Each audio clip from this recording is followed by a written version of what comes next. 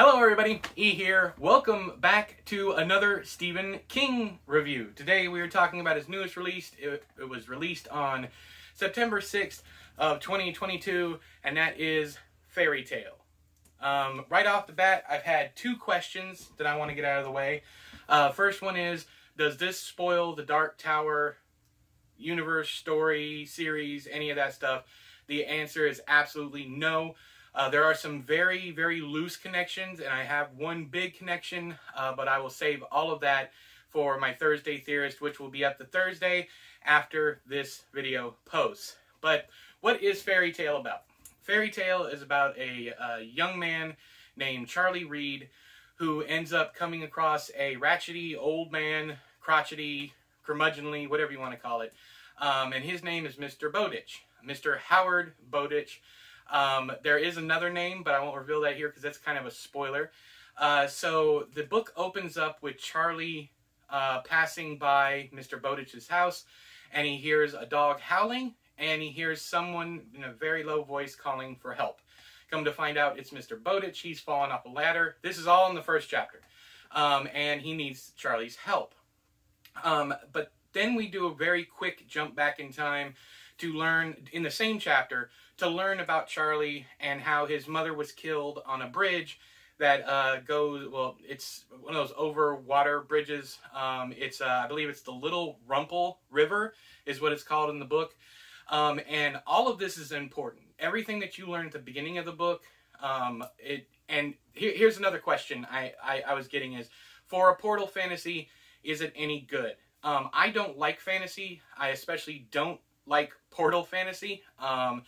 Uh, one of the reasons I don't is because I feel it's a bit of a lazy bit of storytelling, uh, so, uh, sto- lazy storytelling device. And what I mean by that is, it's very easy to take someone out. Uh, it was a fish out of water scenario where you have the narrator talking from uh, from their own world or what we're comfortable with, what's common to us, and that makes it describing the other worlds very very easy. Um, I did not see that as a crutch in this book. In fact, King did some very cool things to make it so that it wasn't really a fish out of water story because uh, there's some very Doctor Who esque kind of things going on here with um, the language that they speak in the other world versus what Charlie speaks in his own world, so on and so forth. Um, the TLDW, the too long didn't watch here. I know you guys have already been watching for like two minutes, but I absolutely loved this book. Every single page of it. Not only do I not like Portal Fantasy, I don't like fantasy in general. And the book, this is a minor spoiler. Um, but I also want to prepare people if you're expecting a very quick Portal Fantasy, get in to, to get into this world within the first 200 pages. You're not going to get that. King spends an enormous amount of time getting to know Charlie Reed, this dog named Radar, and Mr. Bowditch, all building the character. It's it is some of King's best character work since Revival. This is also my favorite one of his books since Revival. It's better than The Institute, it's better than The Outsider. Um, it's leagues, leaps and bounds better than things like Billy Summers. Um, you're going to spend a lot of time getting to know Charlie. Um, I know there's a lot of you out there who uh, don't like the slice of life story, stories and you just wish that King would get to the horror or to the action or whatever. This probably is not going to be a book for you. Um, it is very character driven for the first, at least the first half of it, because even once he does transport over to the other, which is what he calls the uh, the new the the fantasy land. once he gets transported over there, it still takes a little while for the action to get going. But once it does, once the fantasy stuff starts popping off, I I I I'm honestly feel this way. It is close to being as good as the run through Lud in The Wastelands, which is the third Dark Tower book. I was amazed. I was on the edge of my seat, which brings me to a point that I found exceptional. This is told in first person narrative from Charlie's point of view, only Charlie's point of view. He doesn't head hop, he doesn't get into the other characters' minds whatsoever. It is Charlie telling this story in first person, and I was constantly scared for Charlie. Um, that's another thing that's been missing from uh, his most recent books is peril. Uh, feeling like the, the the hero is not going to make it. Uh, uh Doctor Sleep was really bad about that. Even uh, to some extent, so was the Institute. Um, it, it's funny though because this one is kind of like a blend of let's say the Talisman and uh, probably the Outsider. And what I mean by the Outsider is the book changes halfway through. It goes from being this very small story to this epic, all-encompassing story in this fantasy realm. Um, and that's kind of how I felt with The Outsider. It was a very small personal story led by an amazing supernatural story. That's what I got here. Um, now, as far I do have one very minor criticism, but I'm not going to knock any points off for it. King go double, really doubles down with the tradition of fairy tales, like Disney fairy tales, and the whole story. You have um, adjacent to certain characters, like you have like Rumpelstiltskin is mentioned, and you have an adjacent to that. Um, you have the old woman in the shoe. There's an adjacent to that. Um, so when you get in there, it's it's not really a spoiler, but the main character starts to turn into the traditional Prince Charming. And what I mean by traditional Prince Charming is it falls into the same trappings as all of the Prince Charmings, which is blonde haired, blue eyed, whiter than Elmer, Elmer's glue. Um, King does bring up the fact that this is goofy, this is stupid. In the story, the character even thinks it's goofy and it's stupid, I think there's something to be said about having the opportunity to change that aspect, to change that the way people look at fairy tale heroes. I think he could have done a little better with that. Other than that, this book is fantastic all the way through it. I loved Hannah, and these I'm gonna I'm just gonna be saying names here because I don't want to spoil anything for you. Hannah and Red Molly, both of those characters were highlights of this for me. Um, there's uh, several different stories in this one story. You have like a Count of Monte Cristo, Cristo, Crisco, Cristo. I don't know. You have that that you have so many different ones. You have even little bits and pieces from uh, Game of Thrones, all different kinds of stuff. In fact, there's a form of creature in this one. I can't remember what they're called, but the Skelly Bros from Game of Thrones that the Night Watch has to keep back there's kind of an adjacent to them too in this one. So it's really a big amalgamation of all of the fantasy literature that's been out there.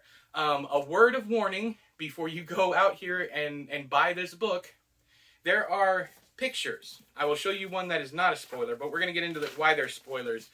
You have pictures like this. Okay? Now, with these, with the first one, it's not a spoiler. But with the vast majority of the pictures, they spoil something before before the chapter that they're ahead. You're going to see something and you're going to go, "Oh, well now I know the fate of that character or now I know what's going to happen in this chapter." And it comes to pass every single time, which I didn't I, I, I thought was kind of crappy. I wish it would have been a picture at the end of the chapter, end of the chapter. I think that would have helped quite a bit.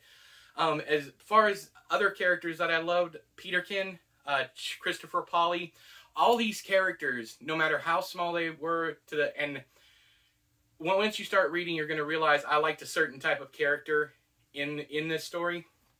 Um, but uh, there you have the uh, fantasy world afflicted by some kind of curse, disease, something they're called the Greys, of all things, um, because they literally turn gray. So there's this uh, this disease going around. You have a a betrayal. There's a there's a hierarchy, monarchy, whatever you want to call it. There's so much lore packed into this book. In fact, I would hazard a guess and say there's just as much lore in this one 600 page book about this one place than there is throughout the entire Dark Tower series because mostly what we get is just little snippets from, you know, Roland's point of view. We never got the battle of, oh, I can't, I'm gonna get blasted for this one. But you guys know what what battle we didn't get. The Horn of Eld. Anyways, we didn't get the battle. Um, we never got the battle. We get insight into so much of this world. I feel like this world actually exists. Like I, I was living with these characters, going on these adventures. Uh, my favorite, absolute favorite part of this book is when they get into uh, Lilimar, which is the city that they're trying to get to to to help Radar at this point. Um, they're trying to get into the city. That was as much fun for me as running as the chase through Lud at the end of the Wastelands. Absolutely phenomenal book. Um, to those of you who worry about King's politics, you're sick and tired of politics, politics, politics. There is absolute. There's almost nothing here that I think there are two or three throw throwaway lines. Even at one point in time, I'm pretty sure King leans to Mr. Bowditch, who is a good guy in the book, being a Trump supporter, um, being more conservative minded. So, but he doesn't go into politics whatsoever. It, not anything that you know conservative uh, people are going to you know tear their hair out. But those people usually find something anyway. So uh, go in at your own risk. Um, with Sorry, just bumped the camera. Anyways, uh, this is a beautiful, beautiful story. Is twists and turns throughout. It's just this is this is classic King for me. This is King telling a small story and making it huge and sweeping and epic. It is at its core a story about a boy and his dog, but there's also a lot of Stephen King stuff in here. Thursday Theorist episode is going to be insanely long because I have a list of about this long of connections and things that I've picked up. Um, if you have read Mr. Harrigan's Phone, if you have read uh, Low Men in Yellow Coats, if you have read uh, Joy, I think it's Joyland. Uh, there's so many books where King puts a young man with an older man, um, usually geriatric, teen, a teenager and a geriatric. Um, you have these two characters, and he does that that dynamic very, very well. And he is at his best in this one when it comes to that. In fact, I like this more than any of the other ones that I listed, like uh, Mr. Harrigan's Phone, which is going to be a movie pretty soon.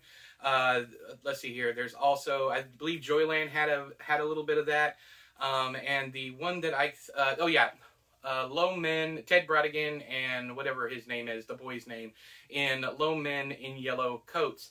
Uh, this is the that this is the best version of that dynamic. And while I was reading this, I couldn't help but feel if you guys play the uh, the FromSoft Souls games, um, if you've played Elden Ring especially, and you played all the rest of them, this book is like an amalgamation of everything that makes Stephen King wonderful. That it, it's that down you know that close storytelling that makes you feel like you're sitting on a porch drinking lemonade listen to someone tell you an amazing story and i think that's what all of us love about stephen king i'm sure there's going to be a lot of you who dislike this book simply because it is an amalgamation of all these different ideas um, because he, he even references himself in the book you know there's cujo exists in this not the, the movie and the book cujo exists but uh, and that's uh, that's really early in the book. I think it's like the first or second chapter, so no spoilers. Um, anyways, the uh, everything that makes Stephen King great is in this book, and if you have not read it yet, I highly suggest you go out and check it out. Um, it gets my highest seal of approval when it when it comes to Stephen King. I'm giving it an easy five stars, which is so relieving after the one star crap show that was Billy Summers. But if you're a Stephen King fan, no matter what era of Stephen King you like, there should be something for you in this book. But have you read Fairy Tale by Stephen King? If you have, let me know what you thought of it down there in the doobly-doo. But until next time, I have been E, you've been you. This has been another Stephen King review. Sorry I got a camera person in the back who is doing my outro with me. Say hi. Hi. Yeah. And just completely through. I'll talk to you guys later. Bye-bye.